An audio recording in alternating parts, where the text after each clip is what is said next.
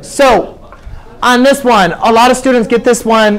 A lot of students have trouble with this because, again, this is to the fifth power. Or I'm sorry, to the fifth root. That's saying what number multiplied by itself five times, five times is going to give us 32.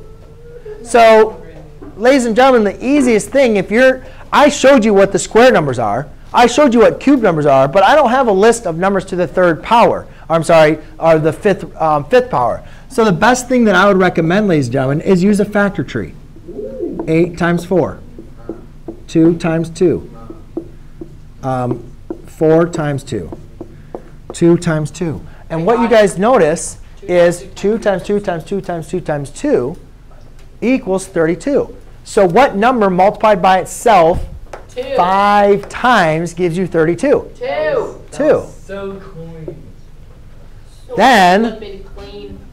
How many, what is the fifth root? I can rewrite that as the fifth root of y to the fifth times y to the fifth, right? You guys agree with me? Because what's y to the fifth times y to the fifth?